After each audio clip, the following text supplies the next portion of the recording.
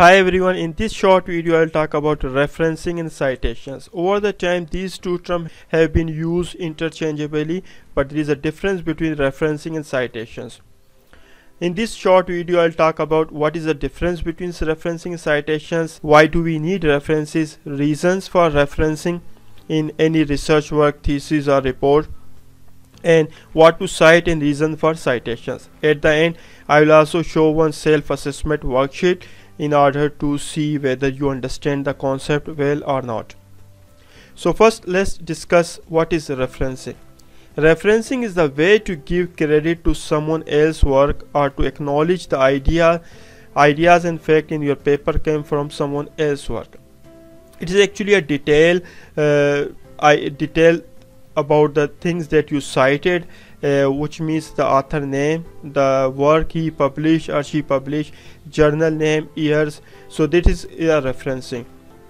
On the other hand citation is the information from the reference to a book paper or author, or author in a scholarly work. Is called citation. So usually within the draft within the report thesis or articles we use in-text citations. So we refer the name of author and at the end we provide the detail about the particular uh, publication. For example this is one of the sentence I ex extract from uh, one thesis. Female teachers tend to have higher sense of efficacy than male teachers. Yousufzai and Munshi. Now this statement female teachers tend to have higher sense of efficacy than male teachers this is not author's primary uh, sentence he or she quoted or used someone else's work so he or she used Yusuf at Munshi. This is in-text citations. And at the end author produce the details like uh, the name of the paper journal name and uh, further details. This is called references. So at the end of document the complete list of references is actually providing evidence that author used these sources so that the reader can further verify or he or she can read more about the related uh, sources. So in short, a citation tells the reader where the information came from. On the other hand, a reference gives the reader detail about the source. So reader may verify the source or reader may willing to read more about the particular source. Reference is the list of sources you have cited. So it is also important that the reference list and in-text citation should be aligned. Whatever you used in in-text citation must be provided in the reference list. The process of citations. Now here we'll I'll talk about why we, we need citations if you use a direct quote if you if you take uh, someone else sentence or quotation did you use a use a direct quote then you need to cite it. Put in quotation mark add in text citation and include in your reference list. What if you did not use a direct quote and you paraphrase someone else's idea? If you paraphrase someone else's idea do you need citations? Yes. You still need a citations because if you paraphrase it it's not your idea it's not your information it's someone else information that you have paraphrased in your paper. So you also need to cite it. What if you use someone else idea theory or information? Even a table graph picture still you need to cite it. So these are the major uh, category in which you need to provide citations now you must re provide references or in-text citations if you, you if you take a direct quote in a double quotation or a paraphrasing on an article idea or concept some if you take someone else idea and you write in your own words still you need to provide a reference or citations because that's not your idea. Providing a statistics or fact. If you are quoting that 70% people are doing this thing or if female teachers are more than male teachers. You need to provide a reference for that. Statistics are fact. Making a journal statement or claim that requires evidence. So any journal statement even a bold statement requires a reference so that uh, the reader may have the evidence of your statement. Use an idea from an author, another source.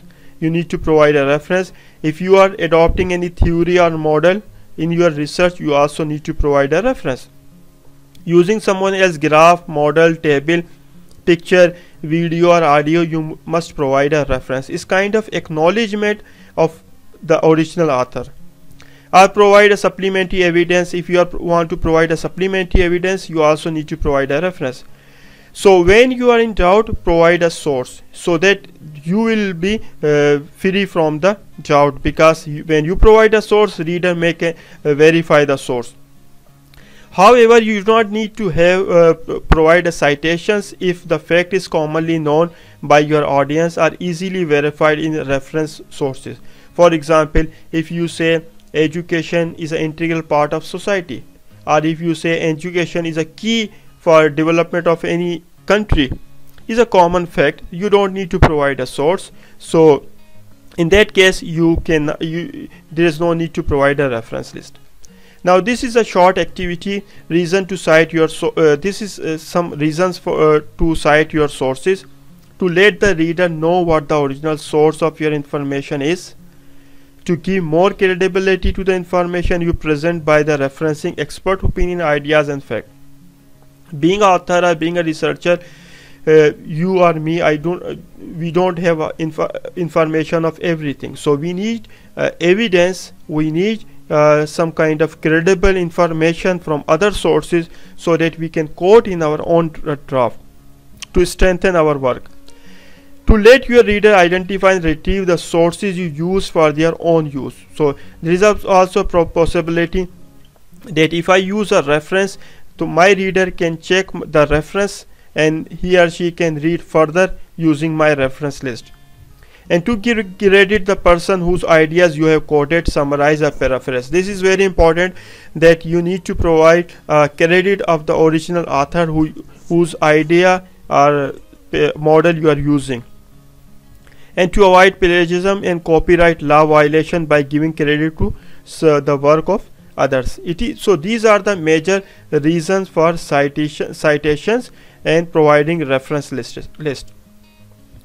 Here is the activity that you can see whether you have idea or concept are clear or not.